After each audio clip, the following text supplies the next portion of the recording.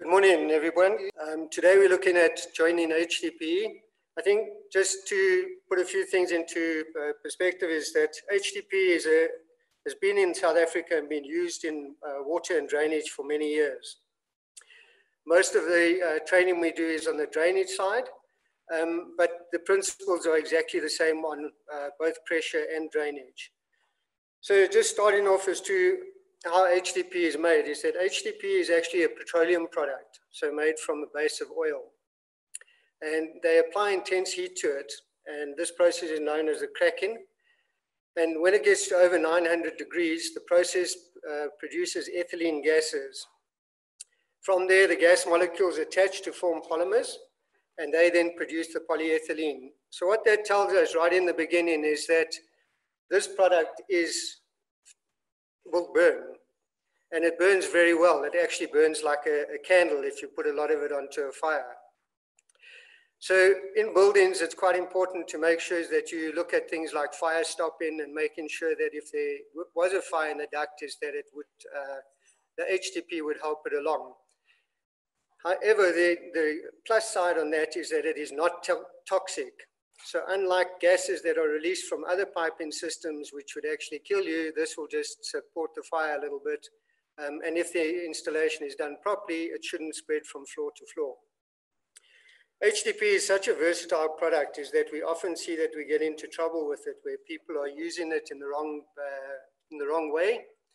And they believe because it can be welded, you can do anything with it. And it is quite scary to see um, how some people are actually installing HDP because they lack the basic understanding as to how it works. And I think there's uh, the industry has got a long way to get uh, educated into how to use it properly. We've seen guys welding it with a hot iron, like, you know, domestic iron. We've seen guys with a shovel on a fire, heating the pipes and putting it, uh, putting pressure on the pipe afterwards to try and join it.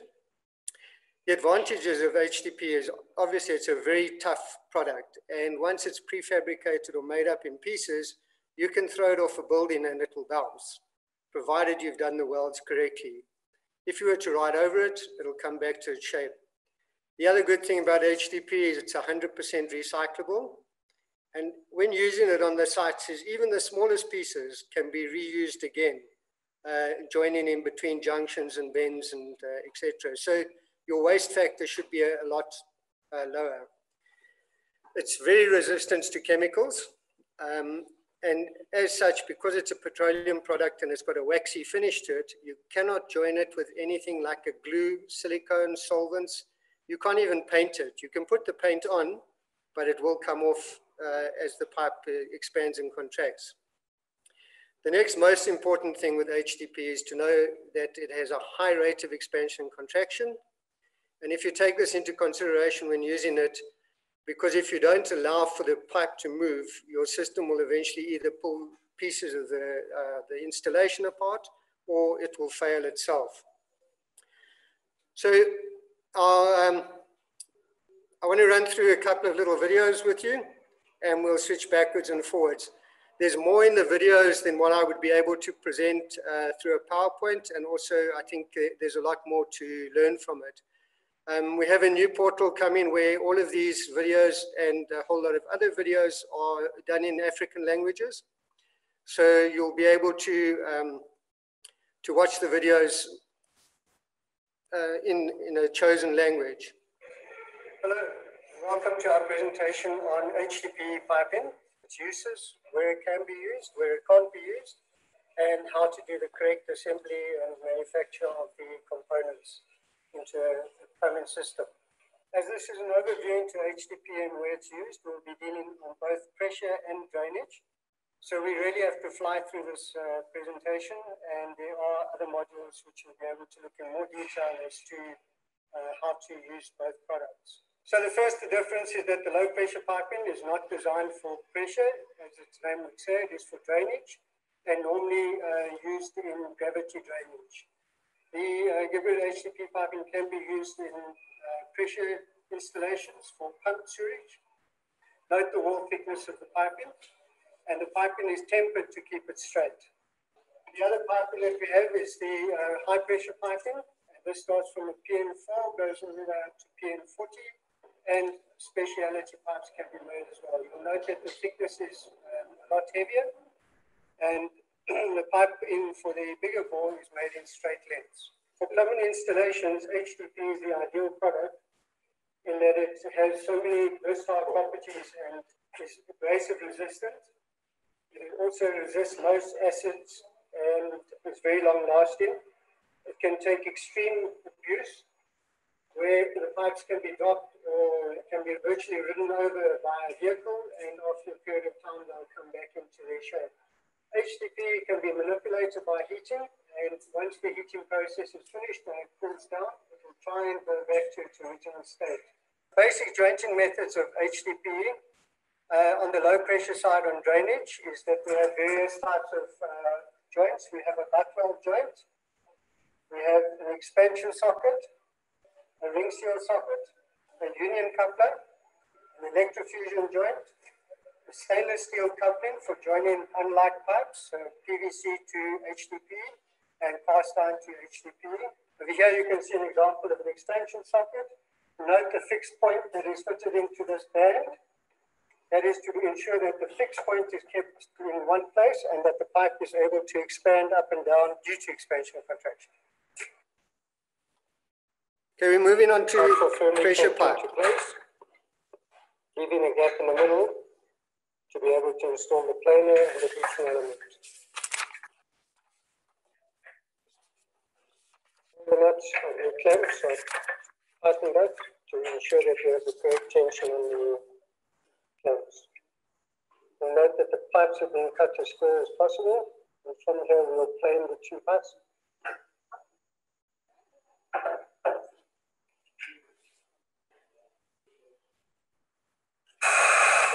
started, the once it is running, the pressure on the two faces are increased. Using the hydraulic power the pipes are closed until such time as a solid bead of HDP comes out.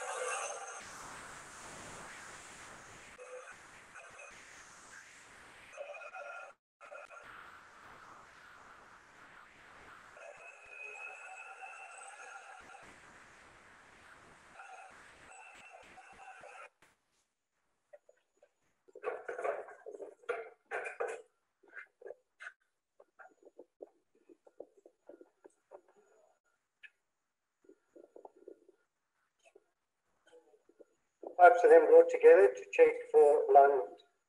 The heating element will increase in temperature until we reach a temperature of 220 degrees Celsius. In preparing the weld, uh, we complete a checklist where all of the data from the weld is recorded. The pieces of pipe being welded is an HDP 160 diameter with a wall thickness of 22.1 millimeters in a PN16 the weather is recorded, it is sunny and dry. The temperature is 28 degrees. The set temperature on the uh, heating element will be 220 degrees and the actual temperature is 220 degrees. The bead forming and weld uh, pressure is recorded as per the welding tables. This is an example of the welding table. And as you can see, as we get into the 160, that's the wall thickness, 22.1, the bead forming pressure, the bead height that is required, and then the soak pressure. See that is at 2.2 bar. The soak time is 3 minutes and 40 seconds. We then have 10 seconds to change over. And our pressure rising time, in other words, the period we need to take to get the pipe up to full pressure is 11 seconds. And our welding pressure is 16.6 bar. And the cooling time is 24 minutes. Temperature is now 220 degrees and we are now ready to weld. The heating element is inserted between the two pipes. The hydraulic unit then pushes the two pipes together. When this process happens, it is important to measure the drag pressure. When you have a long length of pipe, it obviously takes a certain amount of energy to get that pipe moving. The next process is to watch the bead being formed. and we require a height of 2.2 millimeters. We'll note that there's hardly any pressure on the uh, hydraulic unit at the moment. During the bead forming and heating up time is that the hydraulic unit is set on 2.2 bar. The next phase will be the changeover where we remove the heating element. We then have 10 seconds to bring the two pipes together and we have to ensure that it is a gentle touch. And then we have a further 11 seconds to bring it up to full pressure at 16.6 bar. We then leave the well to cool. As we approach the 3 minute 10 mark, we are now getting ready to remove the element. Pressure is released on the hydraulic cap.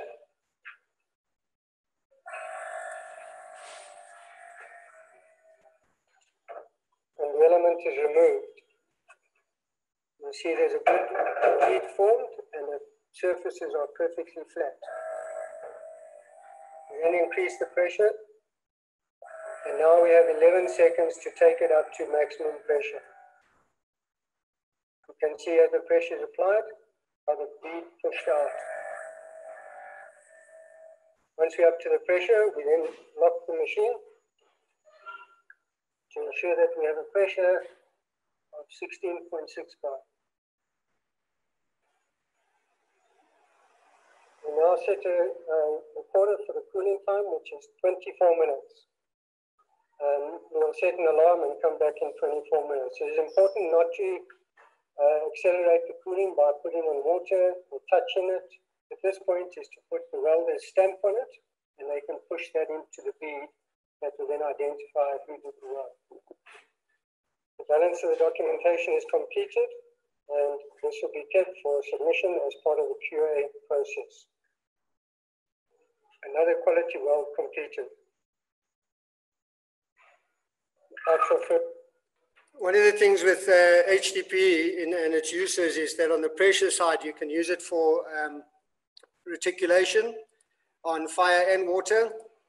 And you can also um, use it for uh, in suspended, where you can use it for domestic water. However, you cannot use any polymer pipe for a fire installation above ground. Um, we see a lot of projects where guys are trying to do that, and that uh, obviously creates a whole lot of problems. Next jointing method we're going to show you on HDP drainage is the electrofusion. And Komocho will run us through that process, and he will tell us all the steps along the line. My name is Komoto. I will show you how to drain with the electrofusion coupling.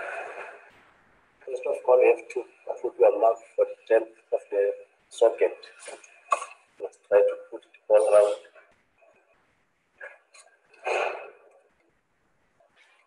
So you can see where you have to grip it. First way is to put the marks like this. You can use the knife, give it knife to scrape it exactly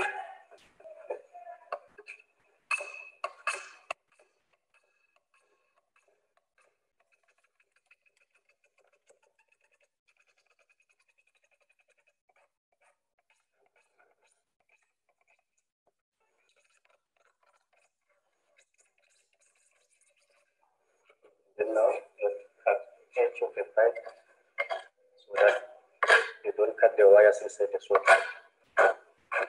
Now you're gonna use the acetate liquid to clean the socket inside because mostly there's liquid fingerprints that needs to be removed before inserting the pipe in. To clean it inside all around.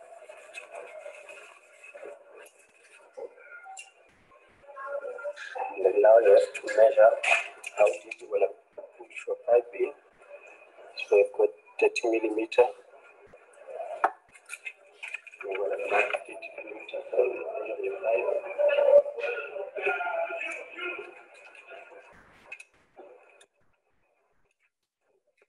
Then the other thing is that after scraping the pipe, you must try to avoid touching the clean surfaces.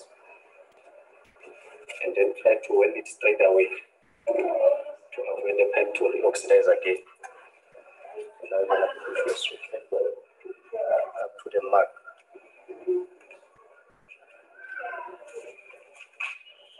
Maybe we like this, we do the same and then that will be ready to weld. So now when I use the other scraper from Geberit, also to peel off the oxide layer.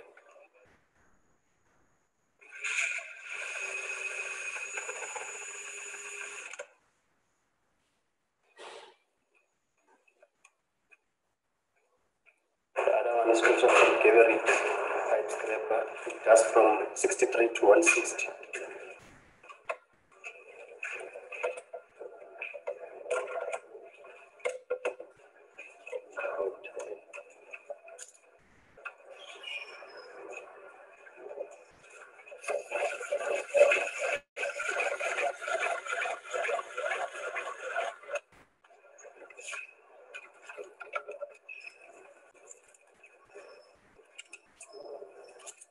The next step is to join them together, push this one inside the socket and screw.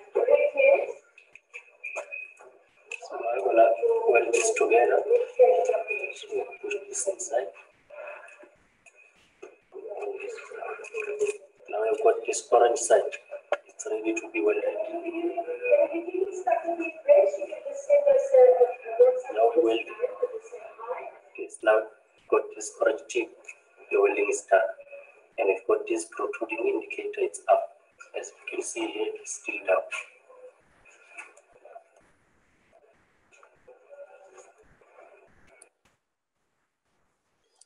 Right, so we're going to move along. Uh, there was still quite a bit of that movie to um, to carry on with, and uh, we want to do a quick one on. The next thing that we're going to look at is uh, electrofusion on high pressure piping. All of the fittings are barcoded, and you take the barcode and you scan the barcode, and it'll give you all the parameters that you need to do the weld. On the machine itself, you'll see there's a whole display and it comes with a scanner and you scan the fitting, it will set the parameters and with that you'll do the weld. Again, the most important part of the weld is the cooling process. Says it must cool for X amount of minutes, you need to leave it for that period. We have a multi-tool, which is like the Friatec or the uh, Ritmo machines, and they will do all types of fittings. And then we have a grade specific, like this Plasson uh, Monomatic, which only does the Plasson loads. The concept of doing the weld is simple, is that once you scan the code, it uh, give you the start process, you put the two connections into the pins, and you will then push the start button and the weld will carry on. We cover the electrofusion of pressure pipes in more detail in a uh, further webinar, and that can be viewed at your leisure or uh, as part of Tech Talks in the future. We're going to run through the basics of joining HDP drainage pipe, and Zoran will take us through uh, that process. Hi, my name is Zoran. I want to show you how method of joining HDPE, particularly we're going to do the butt weld. First of all, I would like to explain something about the machine because we find lots of people they're not very familiar with the machine. Each and every part of the machine is adjustable. It's HDPE expands and contracts a lot. If you need the part in the morning, you your machine. Don't need to use any force. With your two fingers, you can close them and it's secure in the pipe frame. Adjustable pipe support for different diameter of the parts. We're gonna do one butt weld. Most important is your pipe support with your right hand, hold the cord on the pipe support, clamp. Now, each and every HDP part and the fitting, as soon as the factory, they oxidize. We have to remove oxidation of the pipe. Using the planer, we're going to remove the layer of oxidation. Now your finger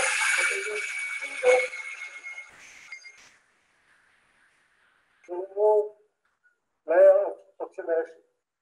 Check your part. Most of the guys, they're cutting the part with a hacksaw blade, which you will never be able to cut it 100% straight. Have to plane it.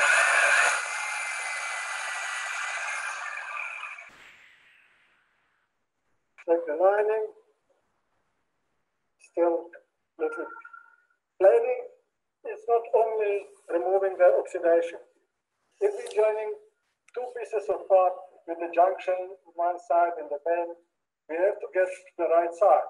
Then we're using the planer just to get the right dimension. We're to heat it up. Have to heat it up? HDP is made out of oil. Heating up, we're releasing all the molecules. Heating up, everybody's saying is we're melting the part. We're not welding the part, we're preparing the part to be welded. In the book, you got dimensions and the heating up time, which is most important part of joining, doing the part balance. This particular one is 110. We have to keep it 63 seconds. You don't have to pressurize it. We want that part to touch the hot plate. Uh, okay, cool. When they touch the hot plate, we want to soak the heat into the part. In beginning, everybody should use, and everybody's got cell phone with a stopwatch. Just first couple of hours, you do with your stopwatch until you remember, and I promise you, soon as your 63 seconds is up, your eyes is gonna go onto the hot plate. You're gonna see the size of the of the bead. Somebody said matchstick, uh, but normally it's half of the wall thickness of the pipe. In the application technique book, do you have columns when it says heating up time, time until full pressure is applied. It's very important to, to know why somebody put that in the book. When we take the hot plate out, if you push it hard and quickly, what we're going to do, we're just going to push all the melted part out and we're going to just weld to the cold part of the part. If that weld is not done properly, in, in time, expanding, contracting, it's going to break you pressurize it, welding and cooling time is much as important as the heating up time. When we heat it up, all the molecules are free. When we pressurize it, as it's cooling down, all the molecules getting together and forming one longer piece of puff. This particular part, 110, cooling time, welding and cooling time is five minutes. Don't force the cooling time. As soon as you pour the water try to cool it down quickly, what's going to happen? All the molecules are going to stop. They're not going to join together. And that's, well, it's not done properly. The next method of jointing we're going to look at is the um, butt weld in my hand. And John will run us through that process and also tell us uh, where we can and can't weld by hand. Everybody is asking, can you weld HDP by hand?